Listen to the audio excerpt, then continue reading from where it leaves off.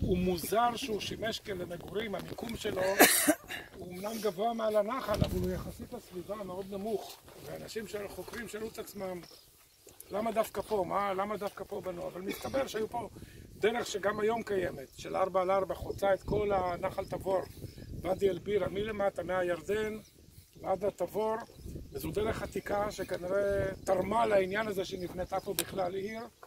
העיר הייתה כנראה גם בתקופה של, בתקופה הישראלית מה שנקרא, והיא מגיעה עד לתקופה הרומית, היא לא, לא מוצאים פה ממצאים כבר נוצריים, ביזנטיים, לא מצאו פה יותר מדי, לכן זה גם שום דבר לא פתוח פה, מה שנמצא נלקח, תל רכש.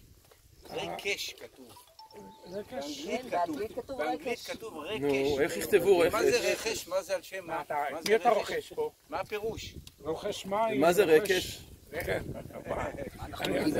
לא, באנגלית כתוב. בסדר, נו, כי זה איזה ריקושטים, זה פגזים. אתה יכול לעשות רכש בלי קש? אז כדי ל...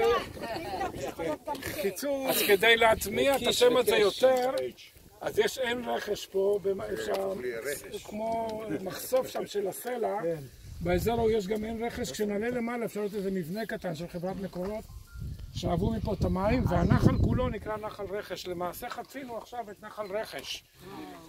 שתי ההזדמנויות הקודמות היו בנחל תבור, כלומר חצינו קראו אותו, לו בעבר נחל רחש, בגלל שלא מבטאים את החטא. אז עברו לרכש. אוקיי. כל ההסברים מתקבלים. בקיצור, אה, כמו שאתם רואים, עונה עמוסה במים.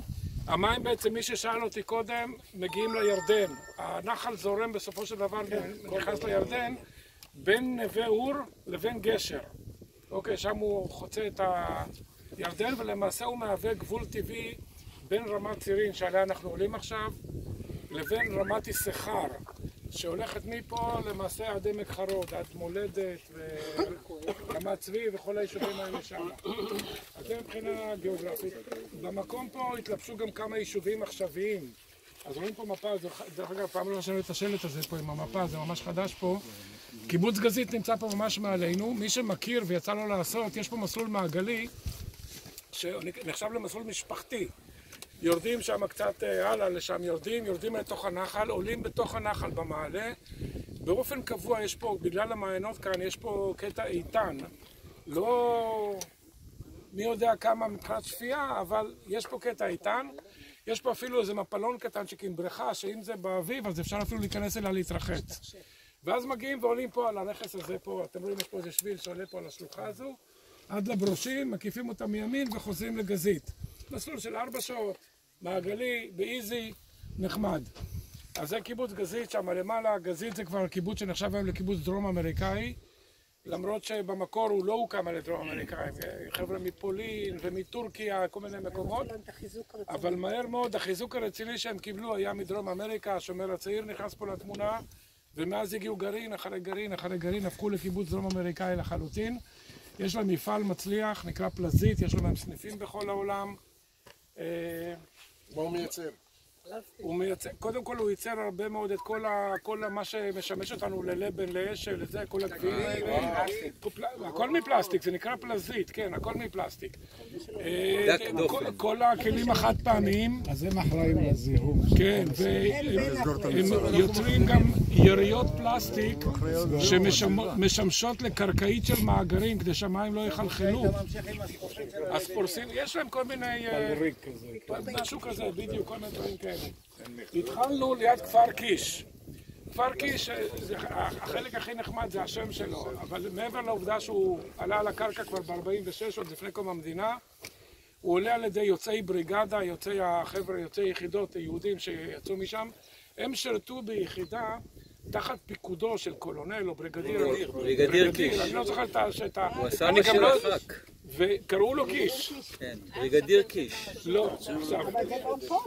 דרך לא, לא. הוא הסבא של החבר כנסת יאיר קיש. אוקיי. יואב קיש. יואב, סליחה, יואב קיש. כן. הוא הוא הסבא דרך של יואב אגב, קיש. קיש, הרי פה שאול הסתובב, אבל דור. לא. עכשיו, הוא לא הוא היה... ראה את האתונות שלו. לא, לא, לא, הוא לא, לא- לא, לא, לא, לא, לא. הוא לא רק זה היה לא, זה בריגדיר, לא. אז זה, זה קיש. זה הוא לא היה רק בריגדיר, קיש. הוא היה גם ב- זה בתנועה האזור הציונית שלו, הבריטית. פה ראה שאול הוא את היה האתונות. באיזשהו שלב- נתנו לו את המלאכה. שבט בנימין, לא יכול להיות, פה זה ישראל. לא, לא, לא, סליחה. עין דור. שנייה, שנייה. הוא מוזכר, הוא מוזכר עם שאול. אין אבל הוא מוזכר. עם שאול. שאול בא לעין דור, לבעלת האור. מאיפה הוא יבוא? מקיש. מקיש, הוא בא לעין דור, זה הכי קרוב. אבל זה בסוף המלוכה שלו, בהתחלה עם הקיש עם התמר של תחילת המלוכה. בסדר, אני אומר מבחינת רקע על המקום. חבר'ה, דרך אגב, גם מרדכי היה צאצא של קיש. הנה? הוא היה סבא שלו. רגע, וביבי? למה? קיש, היא לא יכולה בלי ביבי. למה איך, איך, אם הוא לא יהיה ראש ממשלה, מה תעשי? למה? קראו לו פרדריק קיש, בעצם היישוב פה על שמו, והוא לא רק שהיה המפקד שלהם ביחידה, הוא גם היה פעיל מאוד ציוני, היה פעיל בתנועה הציונית, היה זאת אומרת, היה לו... אחר כך בדרך תתווכחו כמה שאתם רוצים. אה, היה לו מעמד מאוד רציני, ולכן אה, נקרא פה על שמו היישוב. כמובן שהרבה הרבה שלא מכירים אותו, כפר קיש מתחבר עם שאול בן קיש. כי בכל זאת זה היה אזור, אמנם זה לא האזור של בנימין, אבל המלחמה בגלבוע, הבלט האוב פה בעין דור, מחבר אותנו ישר עם שאול בן קיש. אבל במקרה הזה זה לא קשור אליו. אז אה, קיבוץ עין דור, על שם היישוב העתיק, מחבר אותנו לימים אלה. למרדכי פה- היהודי. יש פה עוד יישוב שיש לו, משבט. יש לו דאבל משמעות. אנחנו אולי נראה אותו יותר מגבוה, אחר כך נעשה שם, אבל, אז אני אזהה אותו עוד פעם, אבל בגלל הדאבל שמות, אני אזכיר אותו כבר עכשיו. יש פה מושב בשם שדמות דבורה, וישר זה מתקשר עם דבורה הנביאה של התבור, אבל זה רק השימוש המשני. למעשה נקרא, המושב נקרא על שם דבורה דה רוטשילד, דורותי. מי שמכיר את דורותי, השם העברי שלה הוא דבורה. הקרקעות, משפחת רוטשילד, ולכן היא נקרא על שמה. דאבל משמעות, יש כאלה אומרים, רגע, אבל גם דבורה הנביאה. יאללה, גם דבורה הנביאה. מה זה משנה? שיהיה. היא כבר אין לה יורשים. אם כבר יהיה. אף אחד לא כמו אוקיי.